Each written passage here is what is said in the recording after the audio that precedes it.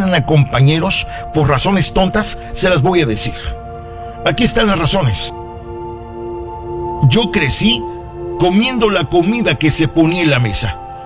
Siempre respeté a mis padres y a los mayores nunca les gritaba. Tenía dos canales de televisión, Canal 5 y Canal 2, que iniciaban sus transmisiones a las 4 de la tarde y no me movía para no perderme las caricaturas de Hanna Barbera. Mi generación va a entender. No había televisión en mi cuarto. Tenía que pedir permiso para ver algún programa y era obligado a hacer tarea antes de todo eso. No era negociable. Hacía la promesa, la bandera en la escuela y el amor a mi patria. Tomaba agua de la llave.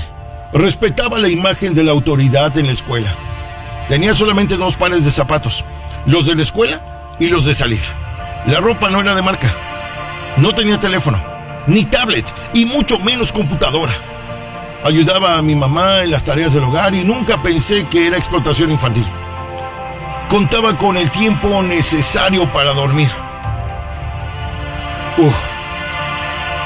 Cuando sacaba buenas notas, no recibía regalos, porque no hacía más que lo que a mí me tocaba. Las calificaciones bajas eran un castigo y eso fue solamente un correctivo, y no un caso policial ni tampoco me.